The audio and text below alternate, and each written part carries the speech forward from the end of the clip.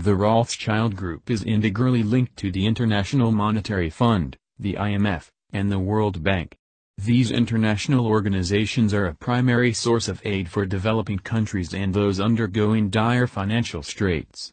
Loans from these organizations come with certain conditions attached which tend to oblige the country receiving the loan to completely reform their economic system. As both organizations are heavily populated with Chicago school economists, these conditions tend to involve the imposition of austerity policies and the privatization of national industries.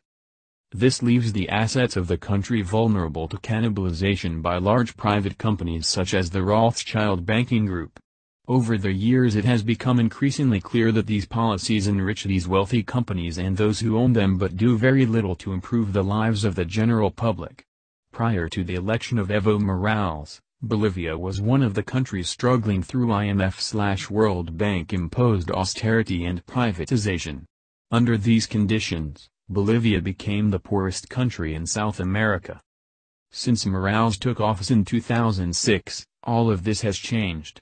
Morales, who is the first indigenous Bolivian president, has transformed the country into the fastest-growing economy on the continent.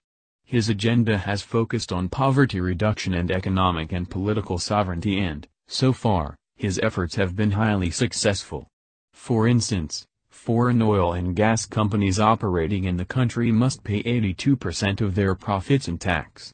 The revenue accrued from this policy has been poured into a large number of social programs aimed at poverty reduction and educational programs.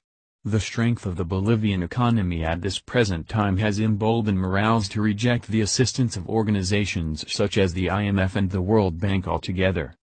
Speaking during a visit to Tarija in the south of the country Morales said, before, in order to obtain credit from the IMF, we were forced to give up a part of our country but we have liberated ourselves economically and politically, and we are no longer dependent on other countries or institutions. The transformation of the Bolivian political and economic scene under Morales has given hope to countries across the world.